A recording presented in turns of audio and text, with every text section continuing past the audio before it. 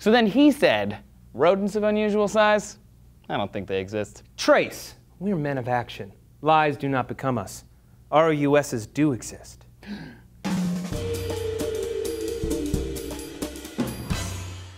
Hey humans of normal sizes, Trace and Matt here for D News. What's up, Matt? I'm, I'm doing very well. Good to see you. Why are tortoises so large?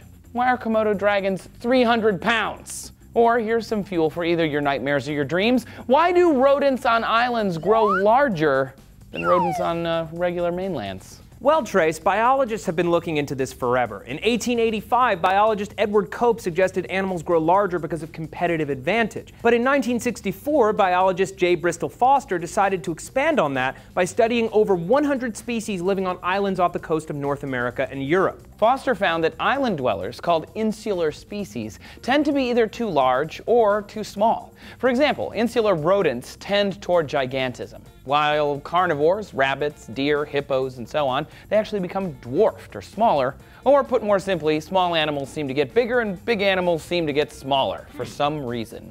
In his paper, Foster's rule said body size is determined by resources available. I want a teeny tiny hippo. Oh, wouldn't that be cute? Yes, he would until he bit you. As more studies were done, Foster's original points were proven wrong, but today we call this tendency towards dwarfism or giantism the island rule. And a new Duke study expanded on the island rule even more, cataloging more than 1,000 populations in 60 species around the globe. Larger creatures should be able to grab more resources than smaller creatures, they found. For example, large predators can catch large, medium, and small prey, but small predators, they're pretty much only get the little ones. In the Duke study, they found animals tended to be way larger than they were supposed to be, like in the top 2.5% for their whole species. Hmm. By studying these insular populations, biologists can learn how evolution works in closed environments. Some of the creatures got way smaller in the bottom 2.5% of their species, which made sense because the smaller you are, the fewer resources you'll consume, which is great for a closed and limited island life. Most of the dwarfish animals they found were on hot, dry, barren islands where resources restrict their body size. Insular populations are great because it's like nature built a little evolution lab for scientists to look at. By comparing insular populations to their mainland cousins, scientists can hypothesize on why they evolved apart. And we can learn about the potential speed of evolution, too. A 2006 compilation study in PLOS Biology found that evolution just plain happens faster on islands. Hmm.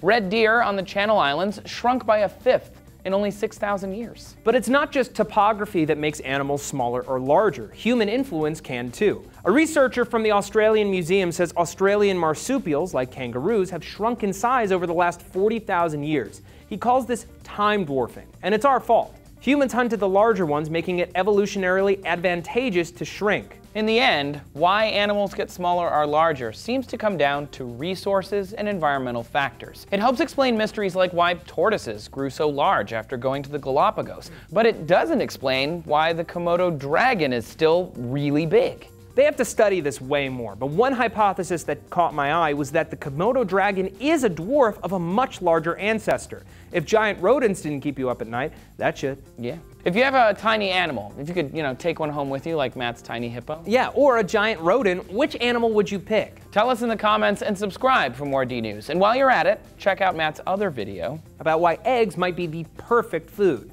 When you consume dietary cholesterol, you aren't adding cholesterol to your body by a large margin. Your liver detects the change in cholesterol intake and lowers production accordingly to keep your body on an even keel. But if you want to share your love of eggs, you're going to need a website. Mm -hmm. And no domain extension can help you share your favorite things like a .com or .net domain name. Make sure you put DNews in at checkout so you can get 15% off your domain.com name and web hosting. Thanks for watching DNews. Please subscribe for more and come find us on Twitter. I'm at Trace Dominguez. And I'm at Matt Lieberman. See ya.